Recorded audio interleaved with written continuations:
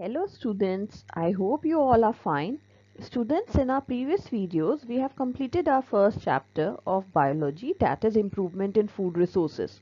Now we will start our next chapter, cell, the basic unit. Cell. So what is cell? A cell is a structural and functional unit of all living organism. It can exist independently and can perform all the life processes. Just as building is made up of bricks, the body of all living organism is form of cells. Unicellular organism like amoeba, they are form of single cell, but their single cell is able to perform all the life processes. While multicellular organism like we, the human beings, the plants and animals that we see around us, they have million of cells in their body which are performing all the functions. Now what are the uh, what are uh, the basic characteristics of cell? Cell as I told you they are the building blocks of all plants and animal means all the plants and animal body they are made up of cells. Now a cell is capable of independent existence and it can perform all the basic functions of life as we are seeing in amoeba that a single cell is performing all the basic functions of life. Next, every organism starts its life as a single cell. Each cell has its own life span. So when we have started our life, when we are in our mother's womb, then our life has started just from a single cell. And then we already know that many cells they together join to form a tissue and many tissues together they form an organ and the organs work together as a system and form an organism and the old and worn out tissues that are present uh, cells that are uh, that are present in our body they are continuously replaced by new cells. Now how these cells are, have been discovered. We know that cells are so tiny that they cannot be seen with naked eye. So these were first discovered by robert hooke in 1665 he was an English scientist. He saw cells in a thin slice of cork with his crude microscope. He observed that it is just like a honeycomb-like structure and named them as cells. His discovery indicated for the first time that living organism consisted of number of small structures of unit. Now in 1674, 1674 a Dutch cloth merchant and microscopist Antony van Leeuwenhoek uh, he observed red blood cells, unicellular organism from pond water, bacteria, sperm cells of human. He used a homemade microscope with improved magnification.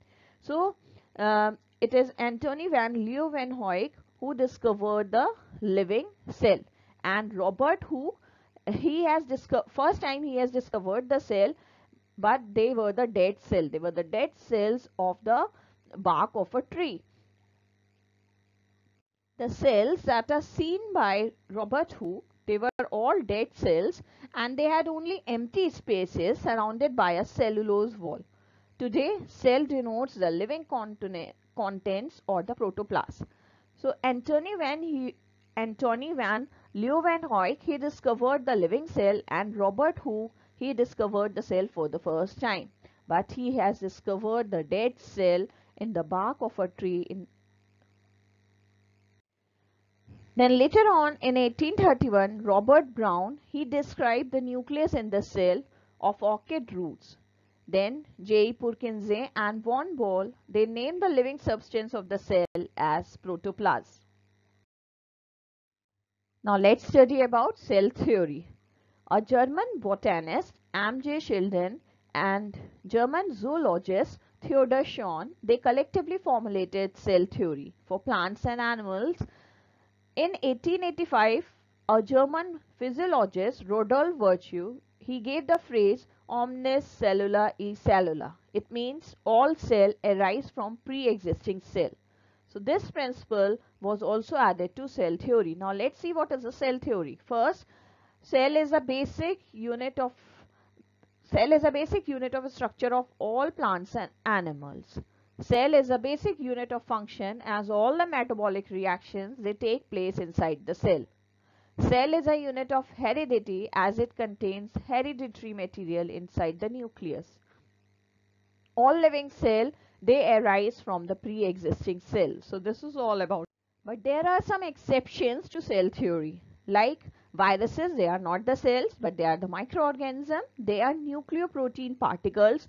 Nucleic acid molecule is enclosed in a protein coat viruses they do not have nucleus cytoplasm or enzymes. They cannot multiply outside living system and they do not perform any life activity. So this is the exception to cell theory.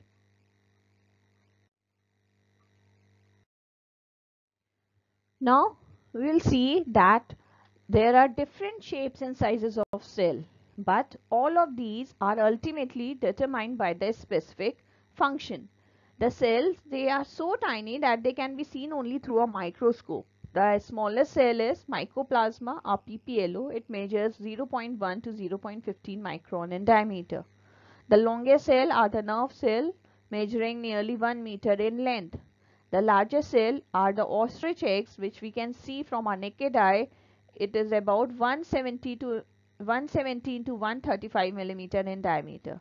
Among plant, the single cell alga Acetabularia, it measures nearly 10 centimeter in length. Some cells, they are, in order to perform different functions, the cell exhibit different shapes in different parts of the body and also in different organisms. Some cells like amoeba and white blood cells, they can change their shape whereas most plant and animals, they have cells of fixed shape. These cells, they can be of spherical, oval, polygonal, cuboidal, spindle shaped or cylindrical.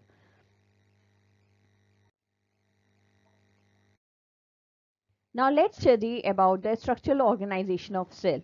A general, generalized animal cell is broadly formed of three major parts. These are plasma membrane or cell membrane, nucleus and cytoplasm with cell organelles. You will study about them uh, later on in the chapter. A plant cell is a little bit different from an animal cell. Instead of uh, uh, it has a cell wall and a vacuole in addition to these structure. So a plant cell it is having a plasma membrane or cell membrane with this cell membrane it is having a cell wall also. And uh, it uh, in plant cell a large vacuole is also present. This you are going to study later on uh, later on in the chapter. Let's study about plasma membrane or cell membrane first. So plasma membrane is the outermost covering of all cell. It separates the cell contents from the external environment. Actually Every cell is bounded by an extremely thin, elastic and selectively permeable plasma membrane. It is about 7 to 10 nanometer thick and it can be seen only under electron microscope. It is form of lipids and proteins and cannot be separated from the cell cytoplasm. Here you can see the structure of the plasma membrane. This in 1972, Singer and Nicolson, they suggested a model called fluid mosaic model to explain the ultrastructure of the plasma membrane or any other membrane of the cell. According to them, plasma membrane, it is made up of a bilayer, two molecule thick layer of phospholipids, two type of protein molecule floated about in the fluid phospholipid layer and they describe it as a number of protein icebergs floating in the sea of lipids. This model is the most accepted one as it, as it describes both properties and organization of the membrane. What are the functions of the plasma membrane? It binds the semi-fluid content of the cell and it gives a definite shape to the cell. It functions as a mechanical barrier it protects cell contents and maintains internal environment of the cell. Being selectively permeable, plasma membrane, it permits only certain substances to pass through. Because of flexibility, plasma membrane enables a cell to engulf large molecules and food particles. Chemicals which are present on the surface of the plasma membrane, they help in recognition of foreign substances and they defend against microbes. So, Plasma membrane is called selectively permeable membrane as it is only allowing certain substances to pass in and out of the cell. Now, the main function of plasma membrane is to selectively control the entry and exit of substances inside and outside the cell.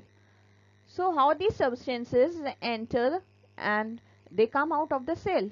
Let's study about them. So substances can enter the cell across a plasma membrane by following processes.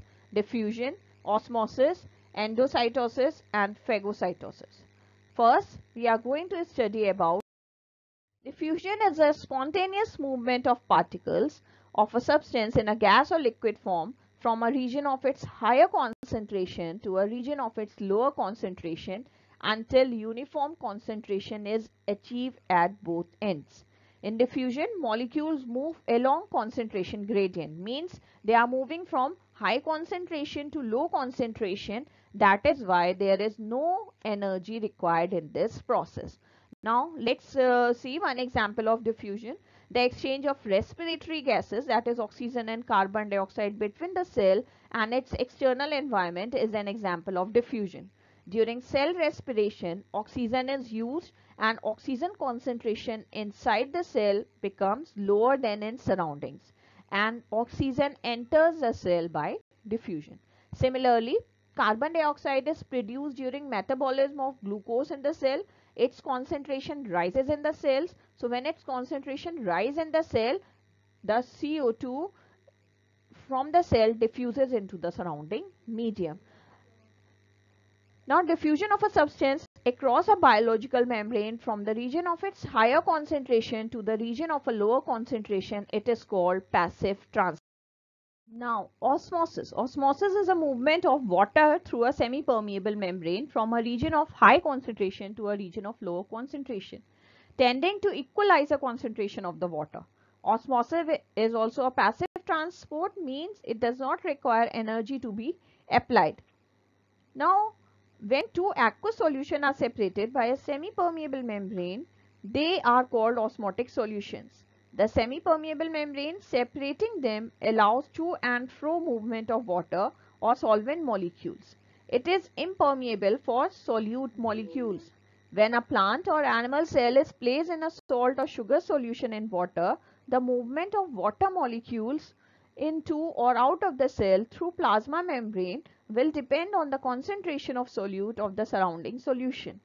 Based on the concentration of solute in water in the outside solution, the solution can be related to the cell as isotonic, hypotonic or hypertonic.